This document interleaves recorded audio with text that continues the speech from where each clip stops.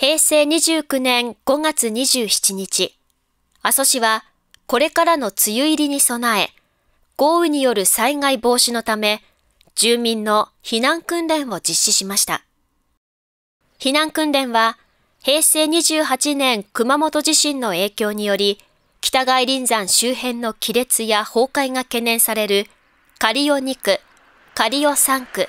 的石、アドガセ地区の413世帯を対象に行われました。まず、気象庁からの大雨洪水警報が発令されるとともに、阿蘇地域が集中豪雨となり、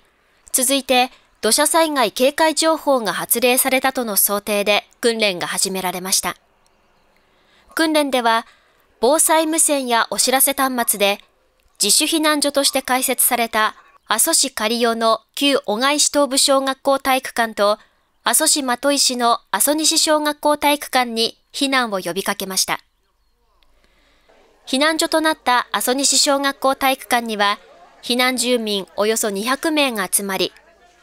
平成24年7月に発生した九州北部豪雨災害や、平成28年熊本地震の映像を見た後、阿蘇広域事務組合消防本部による救急救命処置や、熊本県阿蘇地域振興局による土砂災害に備えてと題した講演。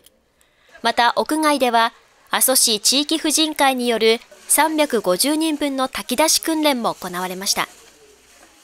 地震で地盤が緩んでいることに加え、これから出水期となります。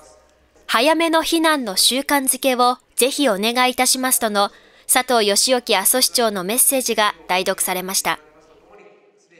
講演終了後、炊き出しで作られた非常食が参加者全員に配布され、この日の訓練は終了しました。